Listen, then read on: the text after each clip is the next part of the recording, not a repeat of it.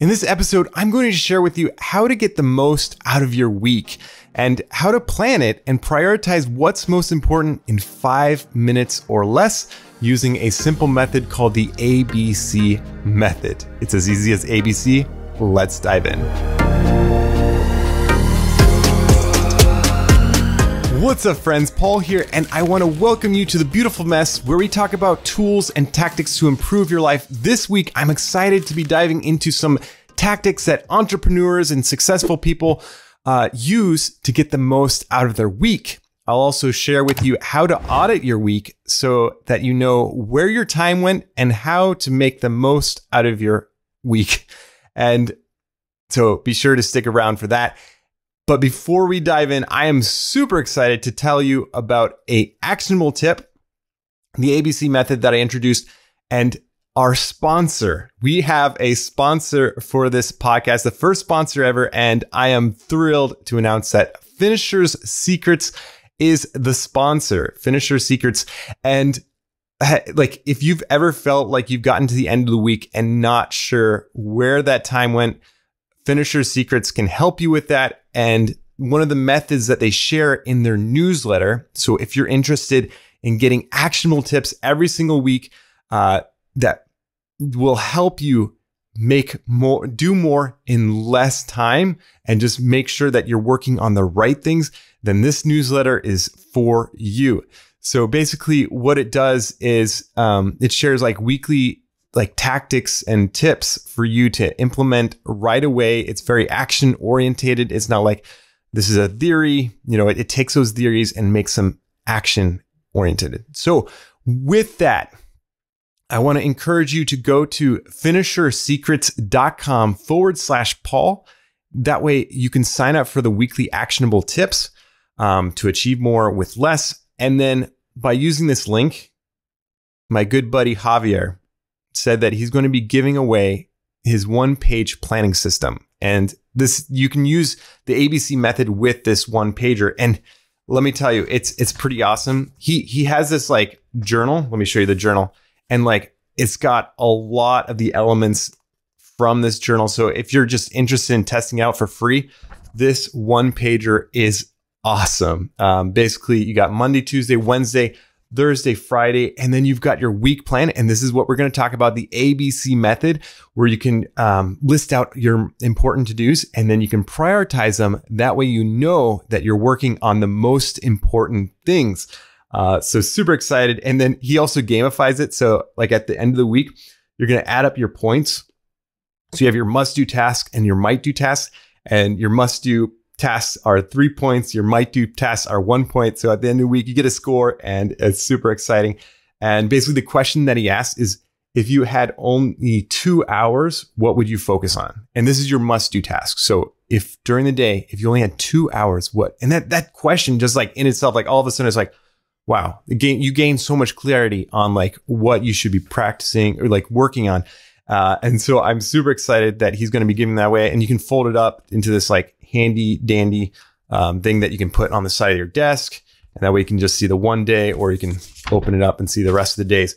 Um, but super excited that he's offering that for you guys. Um, full disclosure, I've helped Javier with some of his content. If you go on YouTube, I, I made a review of myself of his journal. It is just a great tool uh, if you're looking to level up your productivity and want to uh, further your success in life. And so that's my recommendation.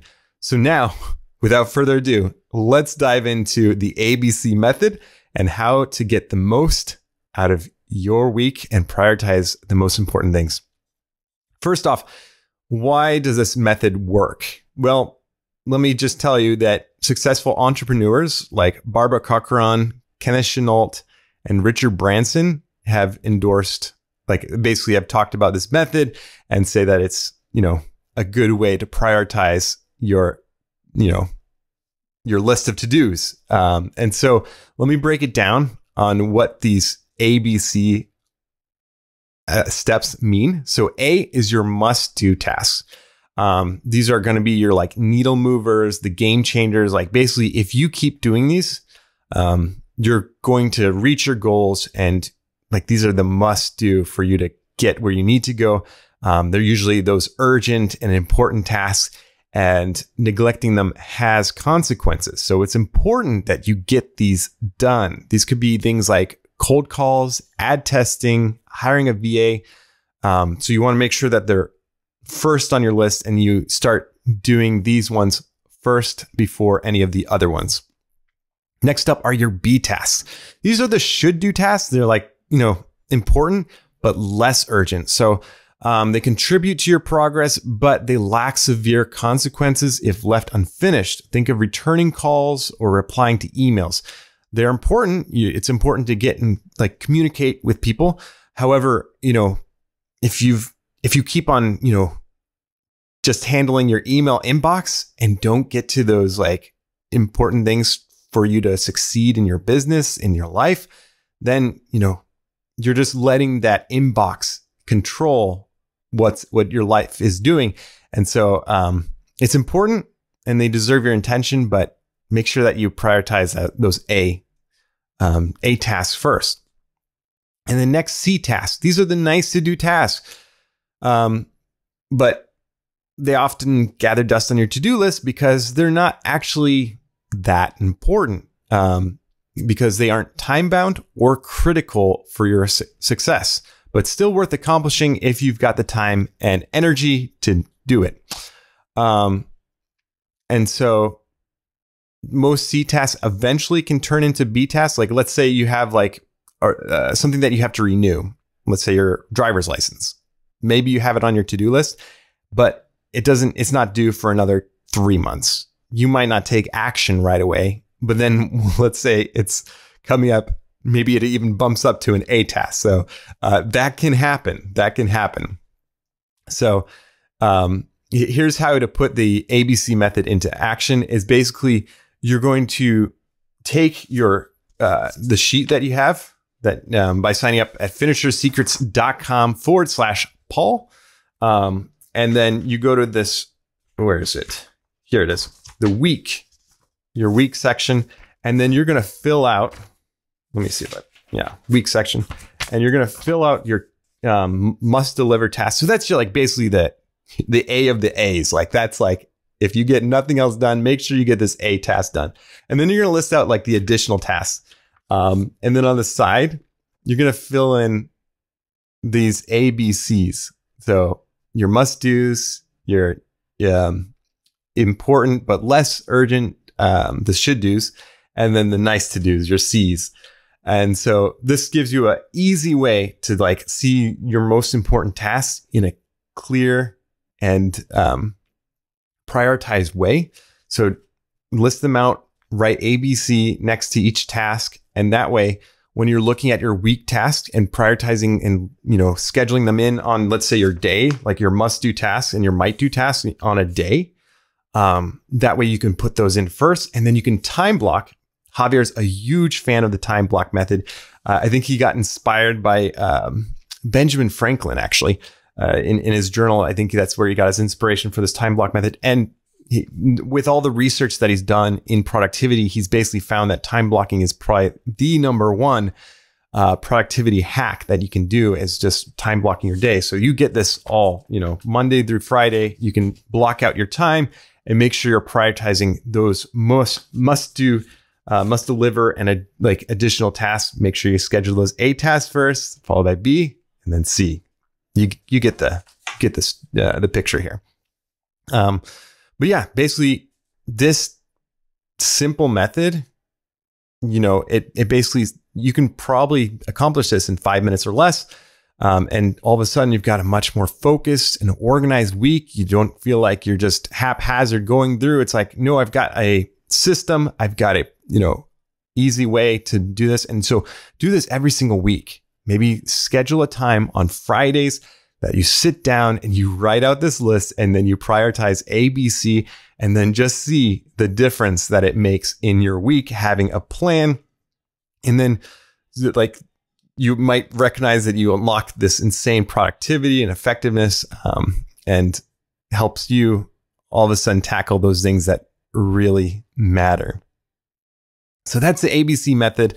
I'm super excited to share it with you. And I'm so thankful for Finisher Secrets for sponsoring this episode and the actionable tip of the week. Uh, they just give so much value. And again, sign up for their newsletter so you get this one pager and also those actionable tips every single week. Highly recommend it. So finishersecrets.com forward slash Paul. And then um, I thought I'd continue on this theme of setting yourself up for success. Um, so, how would I recommend you going about it?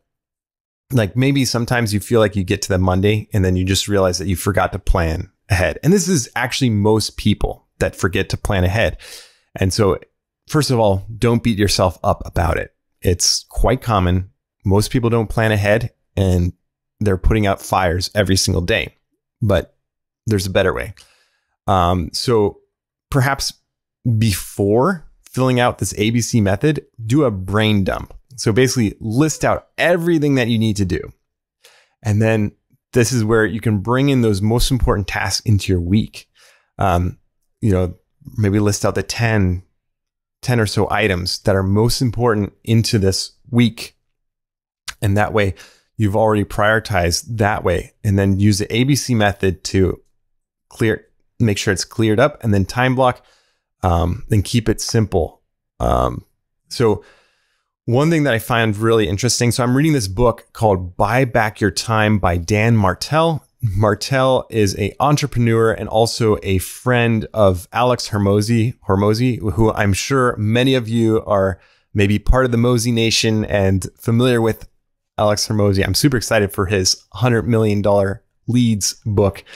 Um, so that that's coming up. Super excited about that. But like one of the things that fascinated me, I, I forget if it was in his book or I was just listening to a podcast interview with Dan, but he basically said that he uses like a Google Doc, super simple to list out like his tasks. And then when he like plans out his week, he'll actually take those tasks and then put them in a time slot. Like he'll block it out that time on his calendar. Um, I, I, don't know if he does it himself or his assistant because I know he's a big fan of like having an executive assistant but he'll like block out the time and then in the description, so he's not like unsure what he needs to do, he'll actually list out what he's going to be working on during that time block. So the same thing you can do with this sheet of paper is like put in the details of like what you're going to be working on during each hour. Um, I believe it was Brendon Burchard, Brandon, Brandon, Brendon, I forget exactly, but hey, he's a productivity expert, but he talks about the importance of reducing buffer time. And what buffer time is, is it it's a time between tasks. So you've got task A and you got task B. But oftentimes after you complete task A, it takes you a little while to get into task B. And so you want to practice getting out of one task and getting into a, another task as quickly as possible because this will um, increase your productivity and decrease that lag time that like, you know, you get up, do something else, you might go on your phone and then you you know what it's like.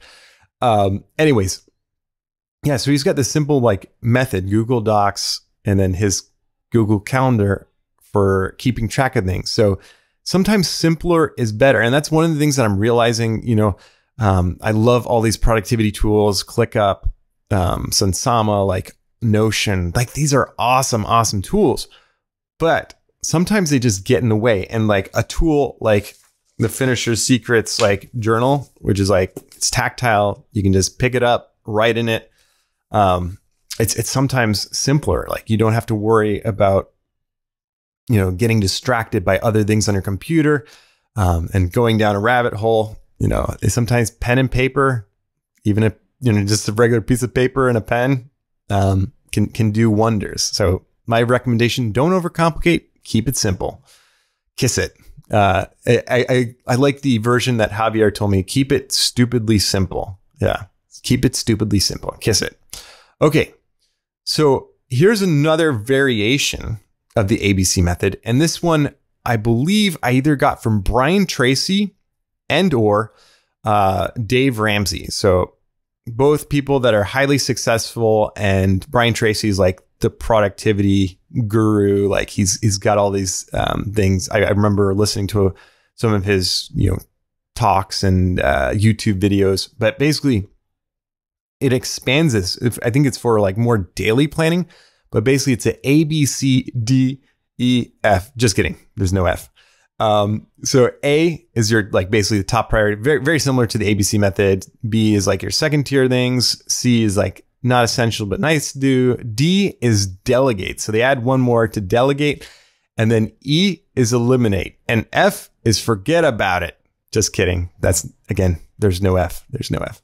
Uh, so yeah, that's that's like one way. And then what they recommend is then putting numbers next to them. So you gain even more clarity of what to work on first. So you got A1, A2, A3, and then your B tasks, you label them one, two, three, four. Same thing with your C tasks. And then all of a sudden you've got like a order that you should be working things and like on. It's kind of like your playlist for the week. Like, you know, or, or for the day, like, you know, this is what I'm going to do first. This is what I'm to do second. And that way the most important things are done first and then so forth and so on. And you have no question about what you should be working on next. Um, so along the lines is that like if you find that you're highly successful using a certain tactic or maybe you're not like maybe something doesn't work it's important to review your day and re- like and review your plan for the next day this will basically help you identify your priorities. Again, looking back on your week, ABC, you know, what you listed out, and then put those in action by, you know, planning it out. You can plan your whole week out if you want, time block it all, or maybe you just go day by day. If you can time block out the week, that's great. That way you're not guessing. You just have to review it maybe every single day, make small adjustments. And then finally, this is something I'm learning about. Uh, I've, I've heard about it before from people like Chris Do, Chris Doe, Chris Do. I keep on butchering his name, but Chris, uh, he's like a super creative individual, but basically he recommends doing like a time audit so that you know where your time's going. And that way you can prioritize those most important tasks. Um, and then most recently for me, as I'm reading in the Buy Back Your Time book, is the importance of doing a time audit. So one of the things that like many highly successful coaches and entrepreneurs do to find a lot of value is doing a time audit because all of a sudden they realize you know where their time is going. And perhaps you know when they said they didn't have time for something they're just prioritizing things that aren't as important. And so this definitely gives you clarity. And so i'm going to break down really quickly how you can perform a time audit um, and get the most out of this exercise so ideally you'll do it for two weeks because then you have like, you can account for maybe you're traveling or things like that. So maybe if there's something unusual, you can account for that. Um, so number one, find a way to track your time. Keep it simple. Keep it as simple as possible. This could be paper. This could be a Google Sheet.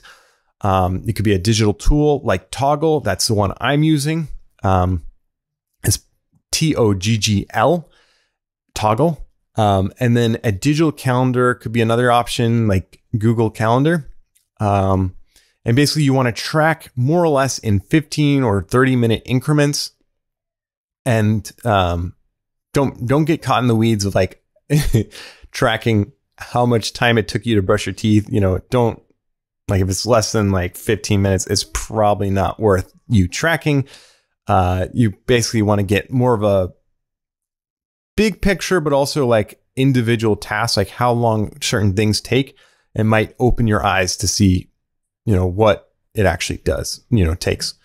Um, and then once you complete this exercise, this is something that Dan recommends in his book, is you take a red and green highlighter and you're going to highlight in green the tasks that brought you energy, that energized you. For example, maybe you made coffee in the morning and that brings you a lot of energy. Or maybe you coached a client and that's super exciting to you. You can mark that in green. Whereas the red ones, they take energy. They drain you of energy. Think of like tasks like maybe you hate budget meetings or taking care of um, fixing a leaking toilet, you know, stuff like that. Who knows? Um, but like basically those things that really just drain you. You're just like, I'm done with this. Those are your red ones. And then finally, you're going to provide a idea of the value of those tasks. That way, when you're looking at prioritizing your tasks or looking for things to delegate and offload to other people, you know, you want to put a dollar sign next to it. So, you know, maybe making coffee is a low value task. So you put a single dollar sign. And uh, Dan recommends doing $1 sign to $4 signs, similar to like Google or was it Facebook, where they put like um, how expensive something is, like a restaurant. They'll put like dollar signs to indicate that. So you can put your high value items as four dollar signs and then the low value items as one and then and anywhere in between as you see fit. For example, um, you know, one of the ways that this can be very impactful is doing a review of what you find. So once you've color coded green, red, and then put the dollar sign, now you have a roadmap to make a difference and to see what things should be removed.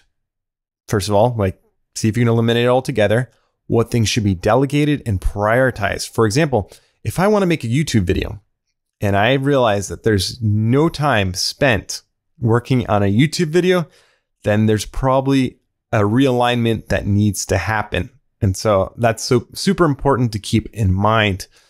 Um, because, you know, as a result of seeing the time on it, it'll, you'll gain so much clarity and you you won't be surprised by why things aren't happening. You'll be like you have that clarity of like this is why it's not happening. It's because I spent only two hours when I needed to spend ten hours on this project. So, um, yeah.